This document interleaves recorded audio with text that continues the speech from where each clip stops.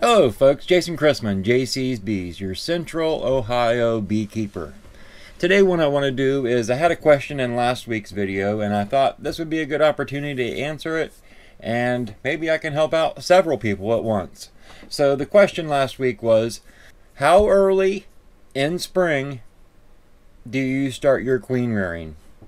Well this is kind of a loaded question and that's why I thought I would break it down in this video. So before we get started, um, let's go ahead and get the ladybug in here and uh, include her on the conversation. Ladybug!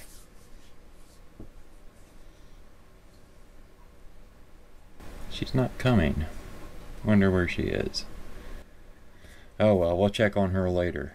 What I want to do um, in this series or this video is I'm going to overlap some pictures um, from the past few years that I've taken when I started queen rearing and maybe that'll help explain things, um, give you uh, something visual to uh, relate to what I'm talking about, and you won't have to stare at my face this whole video, so it's a big plus for everybody.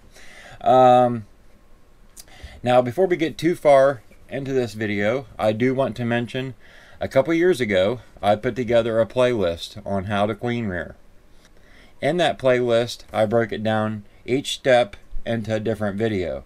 Um, most of the queen rearing uh, videos you find here on YouTube, it's one long 30, 45 minute to an hour video of the whole procedure. So I thought by breaking it down in separate videos, it would make it easier for new beekeepers to understand. You can take one video, go out and apply those steps, and then come back in and watch the second video to learn what you have to do next. So I'll link it up here in the corner. Um, and hopes that maybe it will help one of you out. So um, check it out, JC's Queen Rearing series. Now another note that I want to make right off the bat, and that is that you're going to need drones present before you can even consider queen rearing. Now usually for me here in central Ohio, um, that is late February into late March. It really just, it varies but you want to make sure that your colonies have drones present before you queen rear. Now, what that's going to do, um, by checking your colonies and seeing if you have drones present, it's going to tell you if the other colonies in your area also have drones present. Now, you're going to need these drones in order to get the queens fertilized. Um, an unfertilized queen only lays drones, so that's not very uh, profitable moving forward. So you need to make sure you have drones so your queens get mated so you have worker bees um, and not just drones. The next thing I want to talk about is how soon in the year I can queen rear. Now what I did was is I used Google Photos um, as a way to back up and keep track of what I do. So for the last four years, um, I've taken pictures when I start queen rearing and some of the things involved in queen rearing, and I'm going to overlap those here. Um, but what I did was I went back to the last four years, and on average, I start queen rearing the second week of May with success. that's not to say that you can't do it any sooner, because usually in April we are seeing some 50, 60 degree weather. The problem is, is those days are spaced far apart. So we might get 50 to 60 degree day on a Monday, Tuesday, Wednesday, Thursday, Friday, and Saturday is in the 30s. So that's how April is. Um, so I have better luck starting in May. Now, in May, the weather is still a little bit wishy-washy, uh, up and down. So you do have to be careful on on uh, when you start queen rearing. Now, what I've done the last handful of years is I've went to AccuWeather.com I enter my zip code and I look at the monthly prediction on the weather. Now for the most part, this is pretty accurate and it's been a great tool to help me plan out when I'm going to start my queen rearing. Um, I'll look for uh, a group of days, maybe four or five days with nice weather, and that's when I'll start planning to do my first batch of queens. Now on the first nice day, what you're going to need to do is you're going to need to get out there and make up your cell starter. Um, so you're going to be busting frames apart. You're going to be breaking the hive apart, really. So you need decent weather to be able to do that. You get your cell starter made up, and then you need a following day to have good weather too, so you can go out and remove frames of brood from the colonies you want to graft from. Now, it's my experience that the weather's still kind of cool. We still got cool winds. So what I'll do is I'll grab a frame of brood. I'll bring it into my front porch, which is closed in, but not heated. Uh, it keeps the direct wind off of the frame, and therefore I'm able to graft without chilling any of the brood. So after I get my grafting done, um, I, as quickly as possible, rush back to the colony and stick the brood frame back where it goes. And I'll take the grafting frame and insert it in the cell starter. Now, the cell starter, it varies for me depending on the time of year. Um, you'll see in my queen rearing series where I talk about the cell starter that um, sometimes I use, and it's usually midsummer or late summer if I'm rearing queens, um, my cell starter, I use a little extension on the bottom. Now what this extension does is it allows me to stick a container in there with water, and then I stick a dishcloth inside the container, and the bees are able to drink this water while they're contained.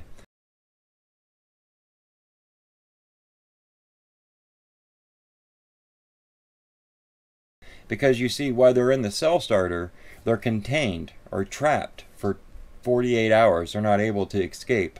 So you want to provide them water, food, and uh, anything else they need, which is explained in the Queen Rearing series.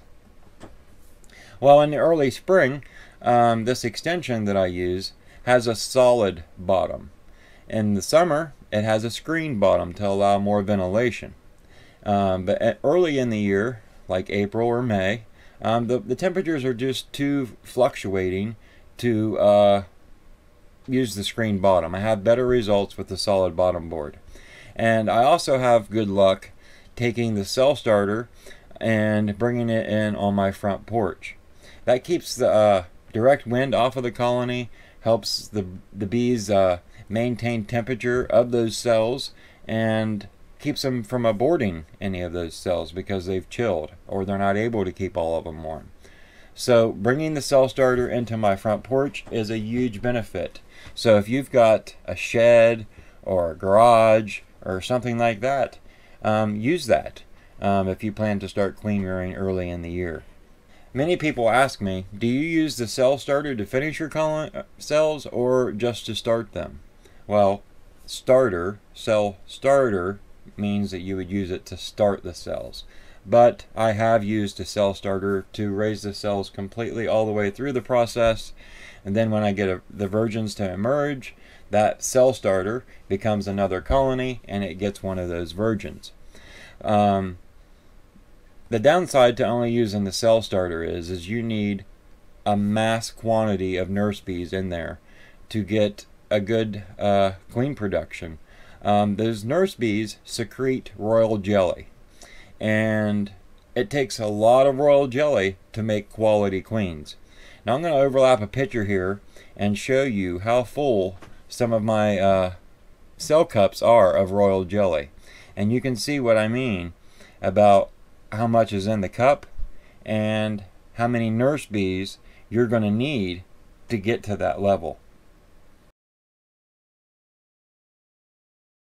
Now, it's kind of funny, you know, I was going back through my pictures to see uh, when I start queen rearing on an average and and every single um, every single year that I started grafting, I noticed that the pictures grouped together with my grafting pictures, there was morel mushrooms.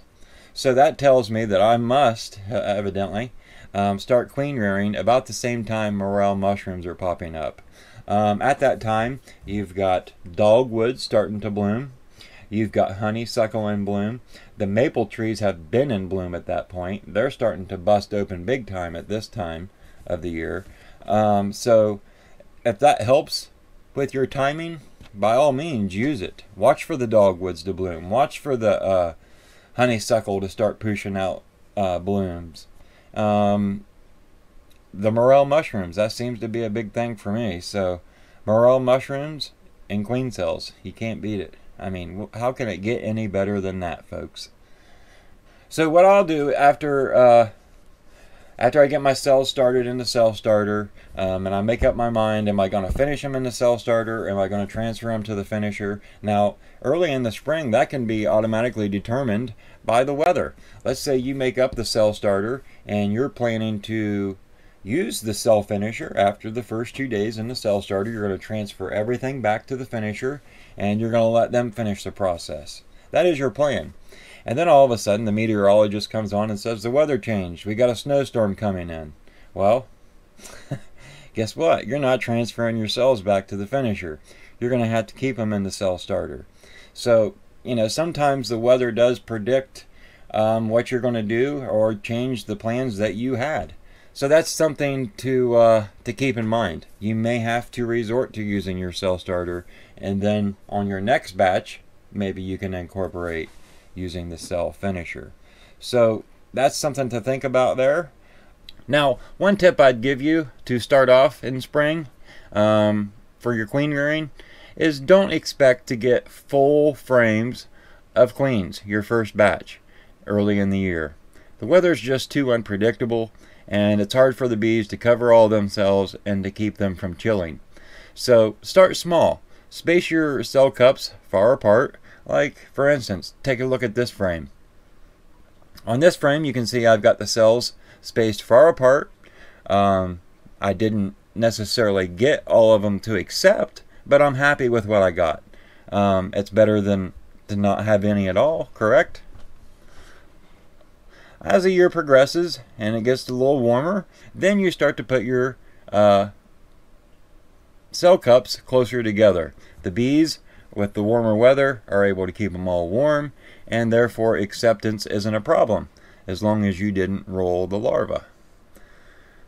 And a lot of people don't realize that, but when you take that larva and you scoop it up with your grafting tool and you transfer it over to a cell cup, that larva, the way it was facing up, um, has to go in the cell cup with the same side facing up. And the reason for that is the larvae have a vent, a breathing vent on the side of their neck.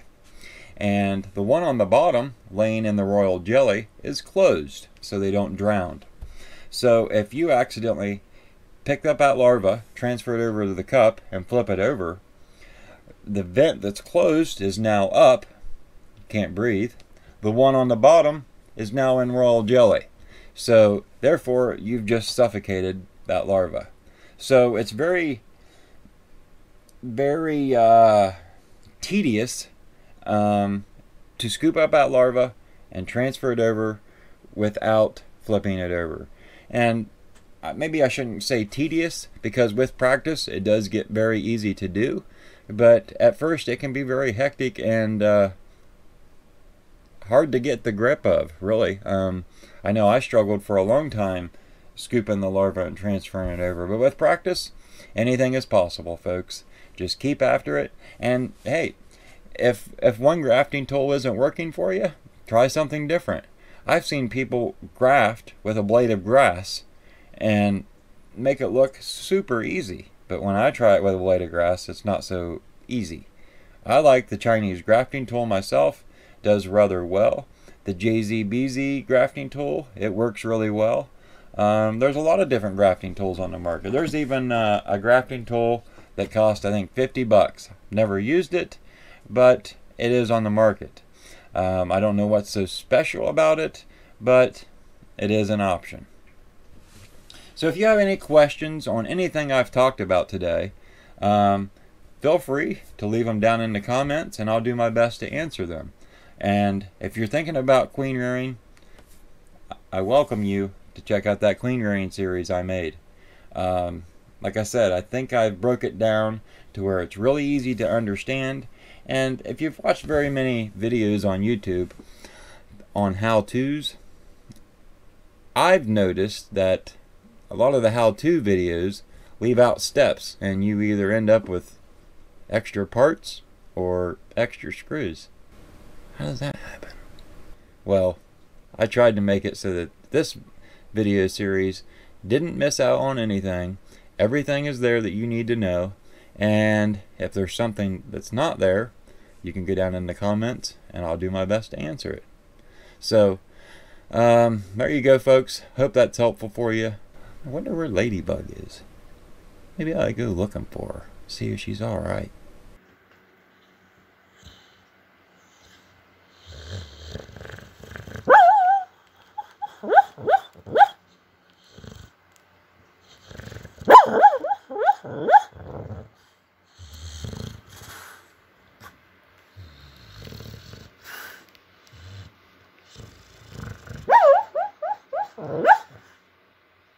Well, I guess she won't be joining us today. She's in sleepy land, dreamland.